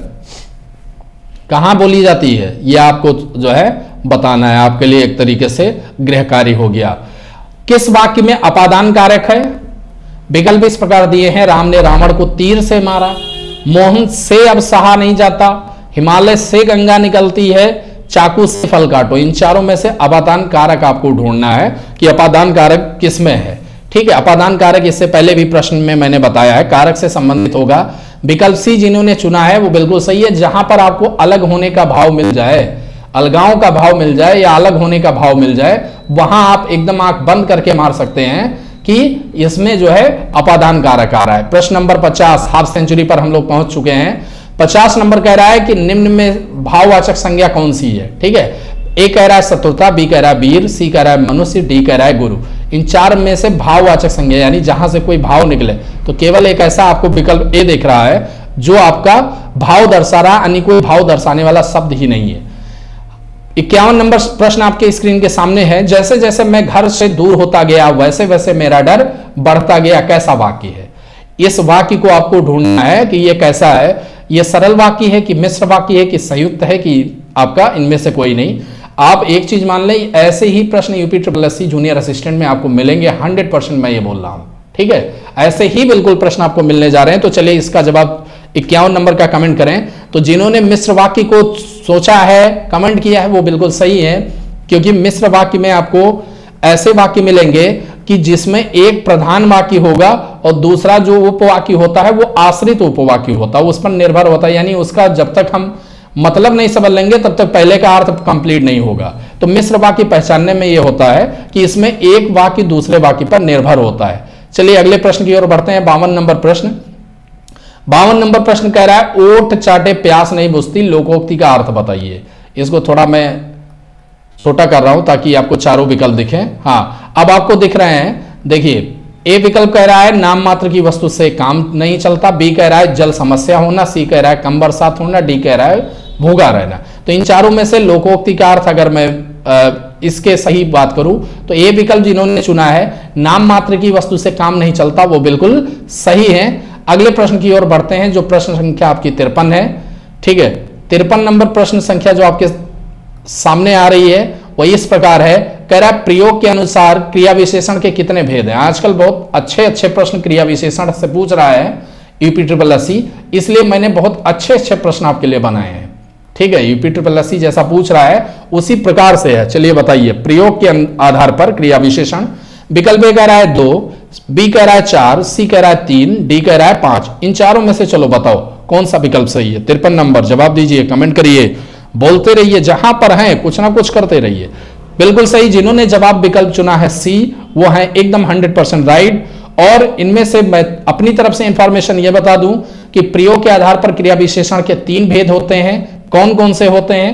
पहला होता है साधारण क्रिया विशेषण दूसरा जो प्रकार बनता है, इसको कहते हैं संयोजक क्रिया विशेषण और तीसरा जो प्रकार बनता है क्रिया विशेषण का, इसको बोलते हैं अनुबद्ध क्रिया विशेषण ठीक है? अनुबद्ध क्रिया विशेषण। तो प्रयोग के आधार पर ये तीन बनते हैं। अगले प्रश्न की ओर बढ़ते हैं। चौवन नंबर प्रश्न आपकी स्क्रीन के सामने है। कह रहा है, इनमें से कौन जातिवाचक संज्ञा से भाववाचक संज्ञा बनाया गया है? इन चारों में से आप चुनिए। पहला कह रहा है बुढ़ापा, बी कह रहा है कठोरता, सी कह रहा है सजावट सजावट, डी कह रहा है अपनापन। इन चारों में से चलिए बताइए, चौवन नंबर के प्रश्न में कौन सा इसमें बना हुआ है? तो जिन्होंने बुढ़ापा विकल्प चुन लिया है, वो बिल्कुल सही है। ये जातिवाचक संज्ञा से भाववाचक संज्ञा बनाई गई है, एक अवस्था दर्शा रही है। ठीक है? आगे मैं बात करूँ। भाववाचक संज्ञा जो बनती है, उसमें मैंने जो है, आप भी पढ़े होंगे। जैसे आप मान लीजिए, इसमें ता लगाकर बनाया जाता है, ता प्रत्यय लगाकर, जैसे दास हुआ तो इसमें दास, आप दास्ता बना सकते हैं। ठीक है? त्वा लगाकर भी बनाई जाती है भाववाचक। तो उसमें जैसे पुरुष हुआ तो पुरुषत्व जोड़ दें। फिर मनुष्य हुआ तो मनुष्यत्व हो जाएगा, इस तरीके से बनती रहती हैं। ठीक है? पचपन नंबर देखते हैं। सबसे लास्ट में मैं आपके लिए एक जो है, महा एपिसोड लाऊँगा, उसमें सब कुछ रिवाइज करा दूँगा। ठीक है? सबसे अंत में ये 800 प्रश्नों की श्रृंखला समाप्त होने के बाद पूरा हिंदी व्याकरण में आपको एक बार फिर से रिवाइज कराऊँगा। पूरा सब कुछ ऑल टोटल ठीक है? एक मैराथन क्लास लेंगे, उसमें हम लोग चार पाँच घंटे में सब कुछ पढ़ लेंगे। पचपन नंबर प्रश्न कह रहा है, इनमें से कौन सा शब्द क्रिया से बना हुआ विशेषण नहीं है? ए विकल्प कह रहा है चालू, बी कह रहा है कमाऊ सी कह रहा है समझना, डी कह रहा है पठित। इन चारों में से आपको चूज़ करना है कि कौन सा शब्द क्रिया से बना हुआ विशेषण नहीं है। तो इन चारों में से चलिए बताइए, पचपन नंबर का जवाब, जो लोग सी विकल्प समझ रहे हैं, वो बिल्कुल सही समझ रहे हैं, क्योंकि समझना कोई विशेषण नहीं है। अन्य जो विकल्प दिए गए हैं, चालू ठीक है, कमाऊ, पठित, ये तीनों के तीनों आपकी क्रिया से बने हुए विशेषण छप्पन नंबर प्रश्न आपकी स्क्रीन के सामने है, इनमें से कौन सा शब्द संज्ञा से बना हुआ विशेषण नहीं है यह ध्यान रखना है। ठीक है, संज्ञा से बना हुआ विशेषण कौन सा नहीं है? विकल्प इस प्रकार है, नमकीन, बी कह रहा है दयालु, सी कह रहा है धनमान डी कह रहा है फुर्तीला इन चारों में से चूज़ करिए। इन चारों में से चूज़ करना है, छप्पन नंबर। और जिन्होंने जवाब डी चुन रखा है, वो बिल्कुल सही है, क्योंकि फुर्ती शब्द आपका संज्ञा से बना विशेषण नहीं है। सत्तावन नंबर की ओर बढ़ते हैं, अगले प्रश्न की ओर। आपके स्क्रीन के सामने है, कह रहा है डूढ़ाड़ी बोली, ठीक है? ढूंढाड़ी बोलते हैं या ढूंढाड़ी बोलते हैं, जो भी आप बोल पाए, ठीक है? ढूंढाड़ी बोली है पश्चिमी राजस्थान की, पूर्वी राजस्थान की, दक्षिणी राजस्थान की, उत्तरी राजस्थान की, है तो पक्का ये राजस्थान की। एक तो आप जानते ही है, नाम भी वैसे है, ठीक है? तो इन चारों में से चूज़ करिए, डुढ़ाड़ी किस मतलब भाग की है राजस्थान के किस ओर बोली जाती है? उत्तर, दक्षिण, पूर्व, पश्चिम, कहाँ पर बोली जाती है? यह चीज़ आपको ध्यान रखना है। तो बिल्कुल सही जिन्होंने जवाब चुन रखा है बी पूर्वी राजस्थान वो सही है, क्योंकि डुढ़ाड़ी बोली को जयपुरी भी बोलते हैं। ठीक है, जयपुर में बोली जाने वाली ये भाषा है तो जयपुरी बोली भी इसको बोलते हैं। प्रश्न नंबर अट्ठावन आपकी स्क्रीन पर। इनमें से चोर का प्रायवाची कौन सा है? कौन सा शब्द चोर का प्रायवाची है? ठीक है, कहते नहीं, चोर चोर मौसेरे भाई। ये भी एक लोकोक्ति है ए विकल्प कह रहा है, मोशक, बी कह रहा है शशि सी कह रहा है, बेसर, डी कह रहा है, धनद। इन चारों में से बताओ कौन सा विकल्प है। चलो, अट्ठावन नंबर का जवाब आप लोग कमेंट करें फटाक फटाक। हाँ फटाफट बोलते रहें, जो भी है ये कैसी सीरीज़ आपको लग रही है, इसके बारे में भी हमें बताते रहें। चलिए, अट्ठावन नंबर के प्रश्न के बारे में इसका जो जवाब होगा, ठीक है, जिन्होंने चुना है कौन सा? ए विकल्प वो बिल्कुल सही है। मोशक चोर का पर्यावाची होता है। अगर मैं आपसे पूछूँ, चोर के अन्य पर्यावाची कौन से हैं? तो दस भी होता है, दूसरा तस्कर होता है, अन्य पर्यायवाचियों में, और इसका एक वो भी बोलते हैं, रजनीचर। ठीक है?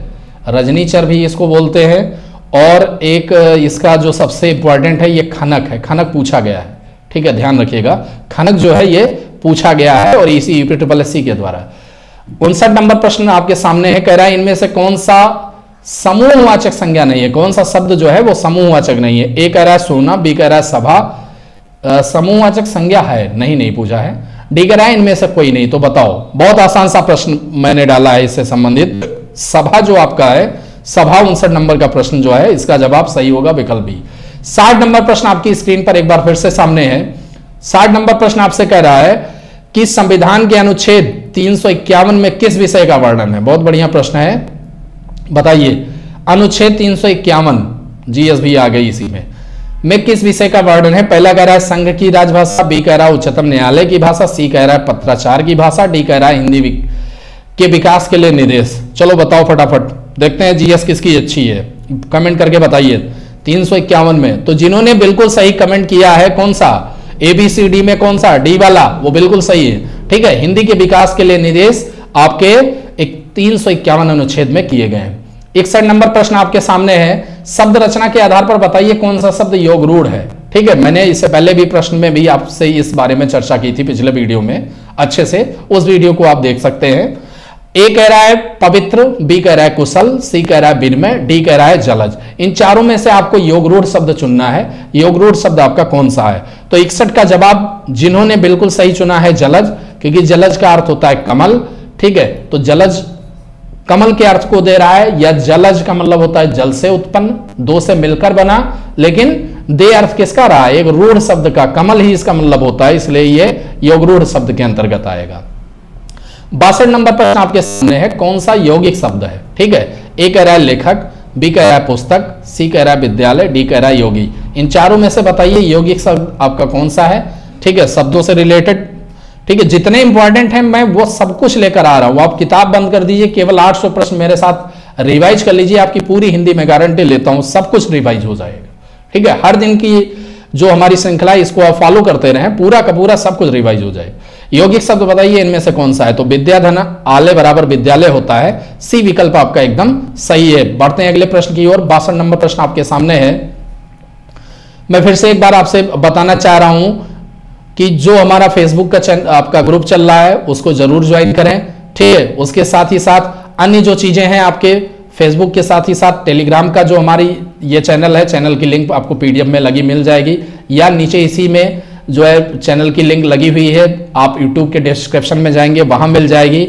साथ ही साथ, क्योंकि टेलीग्राम पर ही आपको मैं फिर से बता दूँ कि टेलीग्राम पर ही सारी पीडीएफ इसकी आपको मिलेंगी, जो ये मैं आपको पढ़ा रहा हूँ, इसकी सारी पीडीएफ आपको टेलीग्राम पर मिलेगी। इसलिए टेलीग्राम चैनल ज़रूर ज्वाइन करें। यूट्यूब जो है यूट्यूब आपको ज़रूर सब्सक्राइब कर लेना है बेल आइकन ज़रूर दबा जो है, एक बार पुश कर देना है। क्योंकि मैं बता रहा हूँ पचास पचास प्रश्नों की मैं लाइव श्रृंखला आपके साथ लेकर आ रहा हूँ एक बार फिर से। और अगली चीज़, वेबसाइट जो हमारी है Pariksha plus dot O R G इस पर भी आपको स्टडी से रिलेटेड मटेरियल और ये सब कुछ मिलना शुरू हो जाएँगे बहुत जल्द ही।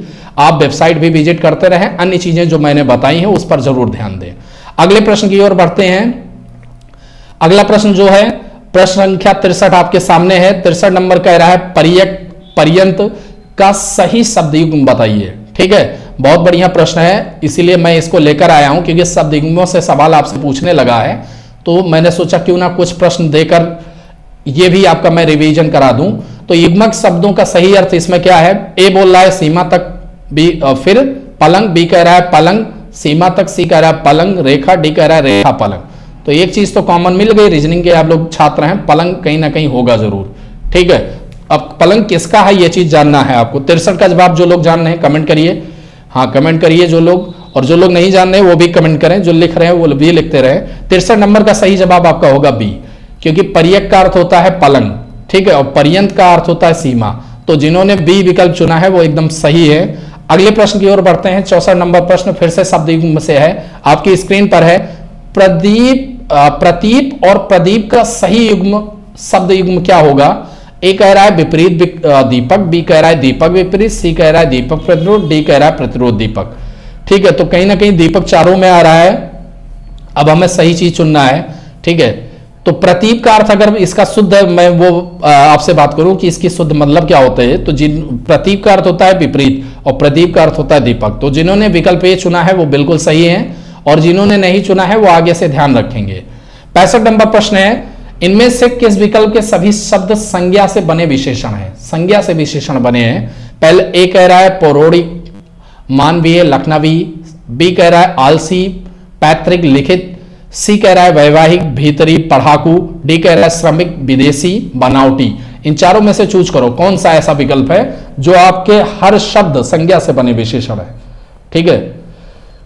बिल्कुल कमेंट करिए। जिन्होंने विकल्प ये चुना है, वो बिल्कुल सही है, क्योंकि पौराणिक पुराण से, मानव से, लखनऊ से बना हुआ आपका अलग अलग इनमें शब्द हैं। छियासठ नंबर प्रश्न आपकी स्क्रीन पर है। पृथ्वीराज रासो के रचनाकार कौन है? ए कह रहा है जयदेव, बी कह रहा है चंबरदाई, सी कह रहा है जगनी डी कह रहा है विद्यापति। इन चारों में से चुनिए। इन चारों में से चुनिए। छियासठ नंबर प्रश्न का जवाब कौन सा होगा?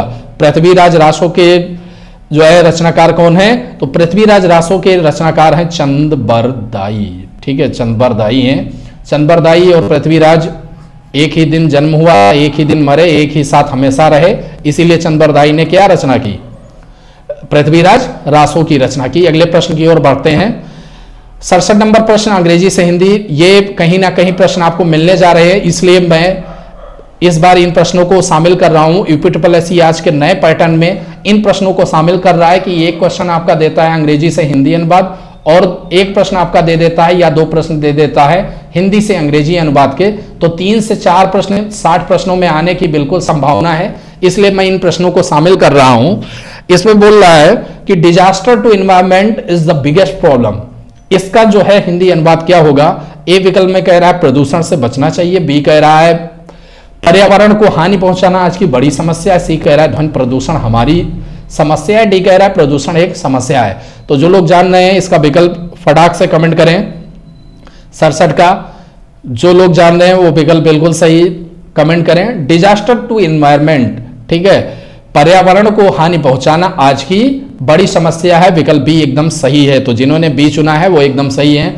फिर से मैंने वही चीज़ डाला है, लेकिन इस बार थोड़ा सा मैंने बदलाव किया है, और वो बदलाव ये है कि इस बार मैंने जो है आपको ऐसा वाक्य दिया है जो हिंदी में है, और उसको हमें अंग्रेज़ी में बताना है। तो चलिए, वाक्य आपके सामने है। वाक्य कह रहा है, शिक्षा मनुष्य जीवन की नींव है, इसका शुद्ध अंग्रेज़ी अनुवाद बताइए आप।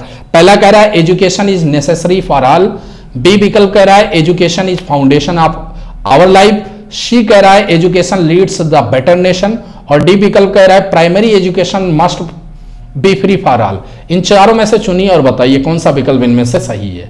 ठीक है, कौन सा विकल्प इनमें से सही है, ये आपको बताना है। कमेंट करिए फट से।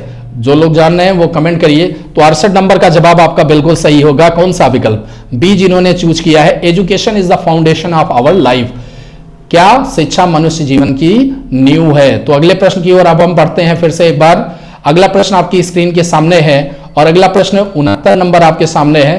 कह रहा है, अर्पित ने मैच जीत लिया होगा। वाक्य में कैसा काल है? काल से संबंधित प्रश्न होगा। हर वो प्रश्न जो आपका यूपी ट्रिपल एस पूछ रहा है, मैंने सब कुछ शामिल किया है इसमें। तो एक बार एक पूरी तरीके से इस सीरीज़ को आप फॉलो कर लीजिए। सिलेक्शन 100 परसेंट हो जाएगा। हिंदी की तो मैं बता रहा हूँ पूरी तरीके से। ए कह रहा है सामान्य भूतकाल बी कह रहा है अपूर्ण भूतकाल सी कह रहा है संदिग्ध भूतकाल डी कह रहा है आसन्न। अर्पित ने मैच जीत लिया होगा तो होगा कहीं ना कहीं क्या कह रहा है? भूतकाल की ओर इशारा, विकल्प भी हमारे दिए हैं। अब मैच जीत लिया होगा यह कंफर्म नहीं है। ठीक है, इसमें अनिश्चितता है। तो जिन्होंने विकल्प क्या चूज़ किया है सी वो एकदम बिल्कुल सही है, क्योंकि यह संदिग्ध भूतकाल का उदाहरण है। अगले प्रश्न की ओर बढ़ते हैं। अगला प्रश्न बहुत अच्छा प्रश्न है। युद्ध होता तो गोलती गोलियाँ चलती। में कैसा काल है, बताओ। ये प्रश्न ए कह रहा है, संभाव्य भविष्य काल बी कह रहा है, आसन्न भूत। सी कह रहा है संदिग्ध भूत, डी कह रहा है हेतु हेतु मद भूत। इन चारों में से आपको चूज़ करना है। चारों में से कौन सा विकल्प आपका सही है? चलिए, फटाक से जवाब बताइए, जो लोग जान रहे हैं, वो इसका आप तुरंत जो है, इसका जवाब दें। तो सत्तर नंबर का प्रश्न का सही जवाब जिन्होंने चूज़ किया है कौन सा विकल्प? डी, ये हेतु हेतु मदभूत है। हेतु हेतु मदभूत में, यानी भूतकाल की ऐसी क्रिया हो, जो एक दूसरे पर आश्रित हो, ठीक है? वहाँ हेतु हेतु मदभूत होता है। भूतकाल की ऐसी क्रिया जो एक दूसरे पर आश्रित हो, यानी निर्भर हो, जहाँ दो क्रिया एक दूसरे पर निर्भर। अब इसमें देखो, युद्ध होता तो गोलियाँ चलती ना, ये दोनों एक दूसरे से रिलेटेड हो गई, इसलिए इसमें हेतु हेतु मद भूत आएगा। अगले प्रश्न की ओर बढ़ते हैं, अगला प्रश्न आपकी स्क्रीन के सामने है, इसको मैं छोटा कर रहा हूँ। प्रश्न कह रहा है कि जिस वाक्य में कर्ता की प्रधानता हो, ठीक है, अर्थात कर्ता किसके अनुसार चले? लिंग वचन के अनुसार, क्रिया के लिंग वचन एवं पुरुष के अनुसार हो, उसे कौन सा वाच्य कहते हैं? ठीक है? इसमें वाक्य, फिर से आप सुनिए प्रश्न। जिस वाक्य में कर्ता की प्रधानता हो, यानी कर्ता लिंग वचन के अनुसार हो, ठीक है? लिंग वचन एवं पुरुष के अनुसार हो, उसे कौन सा वाक्य कहते हैं? चलिए कमेंट करके बताइए। कौन सा वाच्य होगा? कर्म होगा कृत्य होगा, भाववाची होगा या कालवाची होगा, इन चारों में से कौन सा विकल्प सही है? तो इकहत्तर नंबर का जवाब जिन्होंने कृतवाची चुना है, यानी विकल्प बी चुना है, वो बिल्कुल सही है, क्योंकि इसमें कर्ता की प्रधानता होती है। बहत्तर नंबर प्रश्न आपकी स्क्रीन के सामने है। जब कोई कर्ता एक क्रिया समाप्त कर उसी क्षण दूसरी क्रिया प्रारंभ कर दे तो पहली क्रिया क्या कहला क्या कहलाएगी या पहली क्रिया को क्या कहते हैं? विकल्प ए कह रहा है सहायक क्रिया बी कह रहा है आकर्मक क्रिया सी कह रहा है पूर्वकालिक क्रिया डी कह रहा है सकर्मक क्रिया। इन चारों में से बताइए भाई। इन चारों में से आपका जवाब क्या सही होगा? चलिए, जिन्होंने विकल्प कौन सा चुन लिया है? इन चारों में से जिन्होंने विकल्प चुन लिया है आपका, कौन सा? बहत्तर का। जवाब दीजिए सी पूर्वकालिक क्रिया। ठीक है? जब कोई करता एक क्रिया समाप्त कर, उसी क्षण दूसरी क्रिया आरंभ कर दिया तो पहली जो क्रिया होती है, वो पूर्वकालिक क्रिया कहलाती है। अगले प्रश्न की ओर बढ़ते हैं। अगला प्रश्न, तिहत्तर नंबर आपकी स्क्रीन के सामने आ चुका है। तिहत्तर नंबर प्रश्न ये कह रहा है कि सार लेखन के संबंध में सत्य नहीं है। कौन सा कथन इसमें सत्य नहीं है? विकल्प इसके इस प्रकार दिए हैं। ए कह रहा है, शाब्दिक दृष्टि से यह मूल रचना के संपूर्ण होता है। बी कह रहा है, सार की भाषा में तथा भावाभिव्यंजना में स्पष्ट होनी चाहिए। सी कह रहा है, यह एक रचना की पुनः सर्जना है। डी कह रहा है उपयुक्त सही चारों। तो तिहत्तर का जवाब आप बताएँ, सार लेखन से संबंधित यह प्रश्न है। तो जिन्होंने इसका विकल्प कौन सा चुना है? ए चुना है, वो एकदम सही है, क्योंकि विकल्प ए इसका गलत है। ठीक है यह सत्य नहीं है, क्योंकि शाब्दिक दृष्टि से अगर देखा जाए तो साल लेखन मूल रचना का एक तिहाई होता है। ठीक है, ये प्रश्न पिछले उसमें आ चुका है, इसलिए मैंने इसको दिया है आपसे। ठीक है, वो प्रश्न दूसरा था, इसलिए मैंने इस पर एक प्रश्न ये बना दिया। अगला प्रश्न प्रायवाची से संबंधित है, लेकिन ये थोड़ा टफ इसलिए पड़ जाएगा क्योंकि इसमें आपका क्या दे दिया है? एक ही प्रायवाची शब्द के कई प्रायवाची के ग्रुप बनाया है। कह रहा है, सरस्वती के लिए सही प्रायवाची शब्दों की पंक्ति चुनिए। विकल्प ये देखिए, शारदा, मीरा आदि, बी कह रहा है, शारदा, गीरा आध्या सी कह रहा है, शारदा, सीता आदि, डी कह रहा है, शारदा, गिरा आदि। इन चारों में से चुनो। चलो कमेंट करके बताओ फटाफट। चौहत्तर नंबर प्रश्न जिन्होंने विकल्प कौन सा चुना? डी, वो बिल्कुल सही है। शारदा गिरा और आदि सरस्वती की पर्यायवाची है। पचहत्तर नंबर प्रश्न आपके सामने है। कह रहा है समूह के लिए। पचहत्तर नंबर प्रश्न कह रहा है समूह के लिए सही पर्यायवाची वाले शब्दों के ग्रुप को चुनिए। ठीक है? अब इसमें देख लेते हैं। पहला जो आपका विकल्प दिया है, ठीक है? ए विकल्प जो आपका दे रखा है, ये कह रहा है दल झुंड निकास भी कह रहा है। दल झुंड निकाय, सी कह रहा है दल झुंड निकाय, डी कह रहा है डल झुंड निकाय। इन चारों में से चूज़ करिए तो पचहत्तर का जवाब जिन्होंने दिया है, विकल्प भी वो एकदम सही है। छिहत्तर नंबर प्रश्न पर बढ़ता हूँ। नेपाल से संबंधित है। ये व्याकरणिक कोटियाँ हैं, ठीक है, व्याकरणिक कोटियों से संबंधित मैं बता रहा हूँ बार बार कम से कम आप ये मानिए आठ से दस प्रश्न होंगे तो वहीं से फिर से एक बार फिर से प्रश्न आपके सामने मैं लेकर आया हूँ। मैं यह भी जानता हूँ मैं भी कैसा निपात है। ठीक है, निपात के बारे में पहला कह रहा है बलदायक, दूसरा कह रहा है निषेधात्मक, सी कह रहा है नकारात्मक, डी कह रहा है स्वीकारक चलो, इसमें से जवाब बताओ, जो लोग जानते हैं वो कमेंट करें, नहीं जानते वो भी कमेंट करें। तो छिहत्तर नंबर का सही जवाब है ए भी का इस्तेमाल बल देने के लिए किया जाता है तो छिहत्तर का सही जवाब ए हो गया। सतहत्तर नंबर प्रश्न वृत्ति से संबंधित है। व्याकरणिक कोटिया फिर से पक्ष से है। व्याकरणिक कोटिया फिर से एक बार सामने है। और दिन भर अभ्यास करता था, तभी मैं जीत गया। अब इसमें आपको चूज़ करना है पक्ष कौन सा है, क्रिया का कौन सा पक्ष है। पहला कह रहा है नित्यता द्योतक, बी कह रहा है अभ्यास द्योतक, सी कह रहा है सातत्य द्योतक द्योतक, और डी कह रहा है प्रगत द्योतक। इन चारों में से चूज़ करना है कौन सा जवाब सही है। तो 77 का जवाब बताइए कमेंट करिए फटाफट। बी वाला विकल्प जो आपका है, अभ्यास द्योतक, ये एकदम सही है। तो जिन्होंने बी विकल्प चुना है, वो एकदम सही है। अठहत्तर नंबर प्रश्न स्क्रीन के सामने है इसमें वृत्ति से आ गया। व्याकरणिक कोटिया मैं बार बार कह रहा हूँ ना तो व्याकरणिक कोटिया फिर से एक बार आपके सामने दिख गई। ठीक है? इसीलिए मैंने सब कुछ कंप्लीट किया है। ये क्वेश्चन अगर आप लगातार मेरे साथ ये सीरीज़ देख लेते हैं 800 तो आप ये मानिए सब कुछ कंप्लीट होगा। प्रश्न देखते हैं, वह खेलने गया होगा। इसमें आपको वृत्ति पहचाननी है क्रिया की। विकल्प ए कह रहा है विद्यार्थ, बी कह रहा है निश्चयार्थ, सी कह रहा है संकेतार्थ, डी कह रहा है संदेहार्थ। इन चारों में से चूज़ करना है। ठीक है? तो अठहत्तर नंबर का कौन सा सही होगा? जिन्होंने डी सही है चूज़ किया है, वो बिल्कुल सही। वह खेलने गया होगा, इसमें कहीं ना कहीं संदेह है। इसलिए यह क्रिया का कैसा जो है वृत्ति है, कैसी वृत्ति है? संदेहार्थ वृत्ति के अंतर्गत आइए। राजा सेवक को कमल देता है। वाक्य में कारक कौन सा है? चलिए, विकल्प इनके देख लेते हैं एक बार। इनके विकल्प इस प्रकार हैं।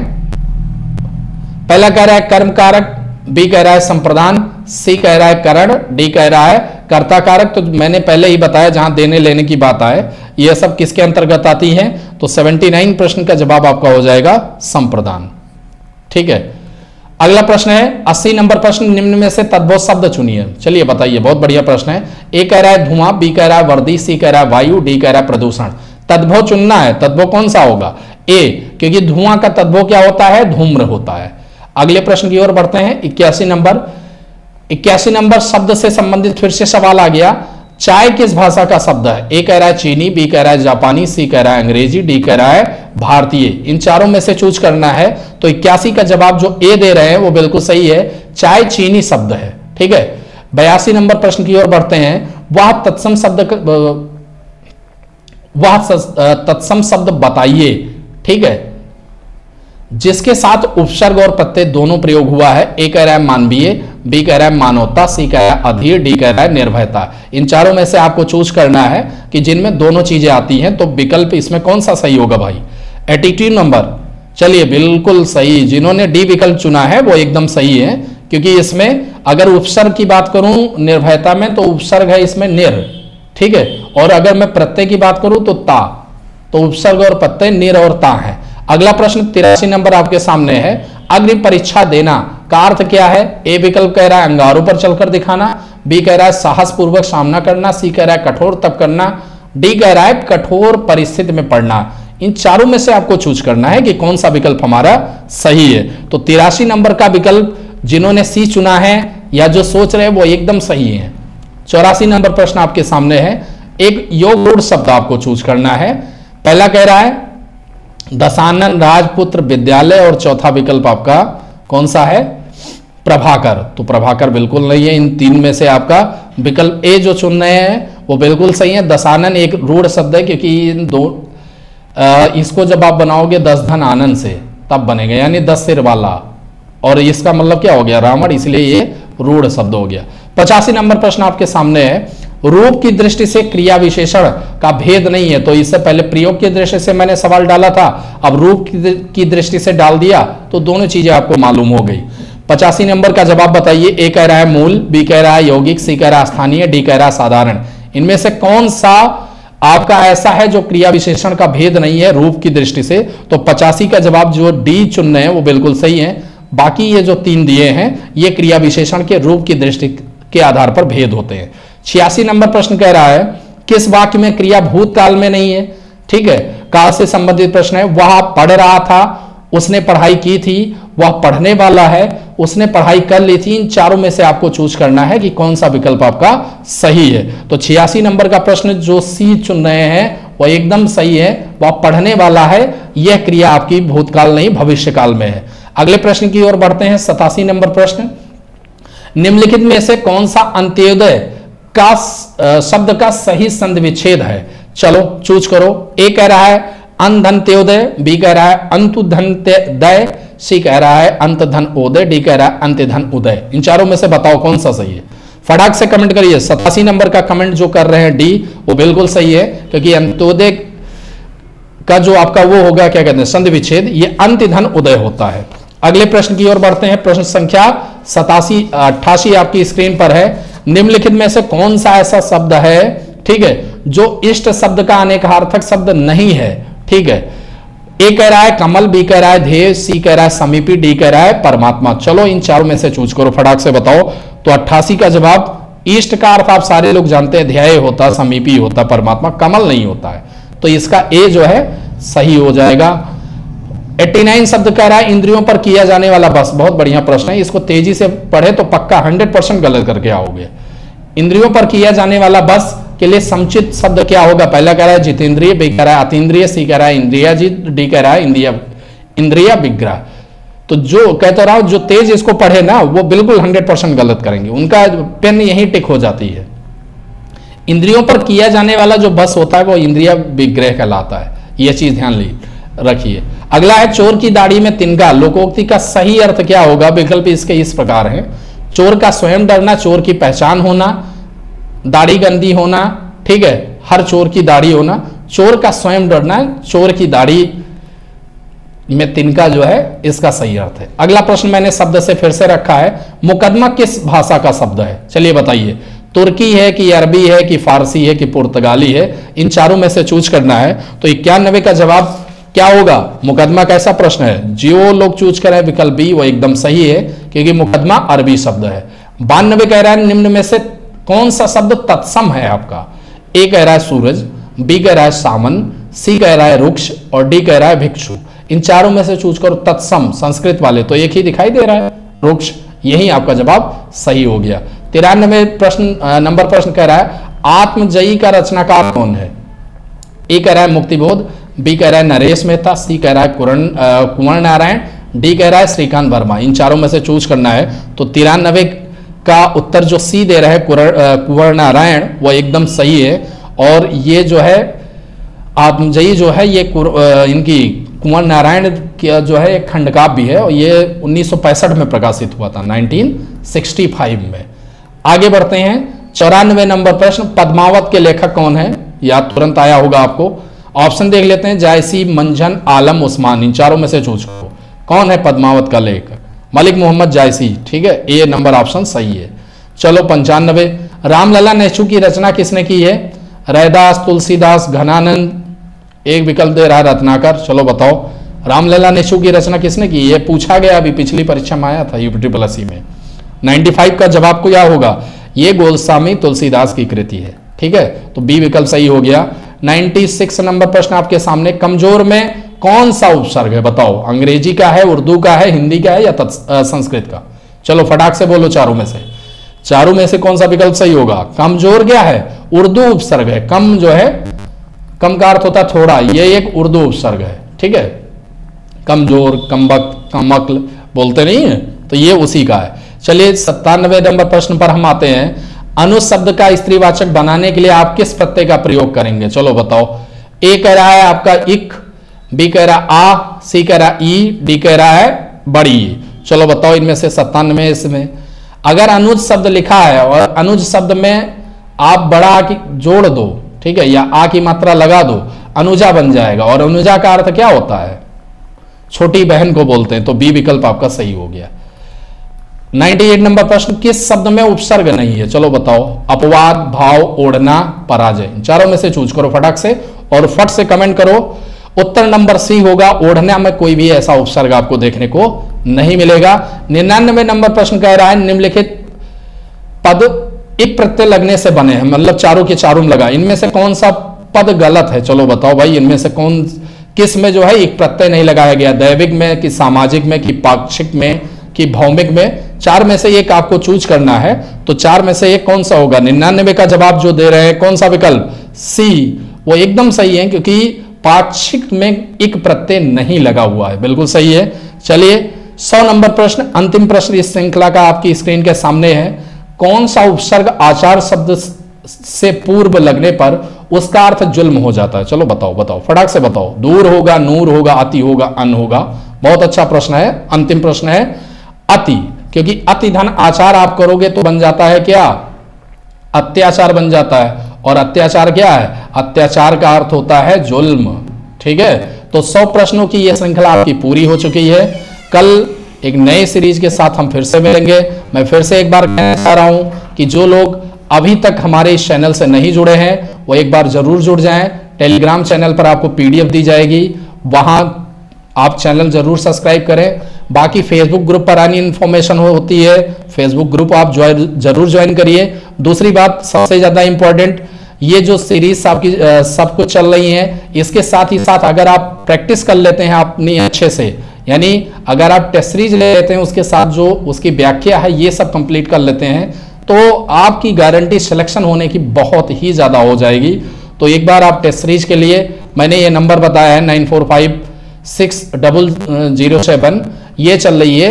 इसको जो है आप इस पर कॉल करके या आप व्हाट्सएप करके पूछ सकते हैं। साथ ही साथ हाई कोर्ट के लिए एआरओ की भी टेस्ट सीरीज़ हमारी जो है टीम के द्वारा चलाई जा रही है। उस टेस्ट सीरीज़ को भी आप ज्वाइन करने के लिए इसी नंबर पर बात कर सकते हैं। मटेरियल और अन्य सब कुछ उस टेस्ट सीरीज़ में भी प्रोवाइड किया जा रहा है। तो फिर मिलते हैं अगले सेशन में। तब तक के लिए धन्यवाद। चैनल ज़रूर सब्सक्राइब करें। फिर मिलते हैं।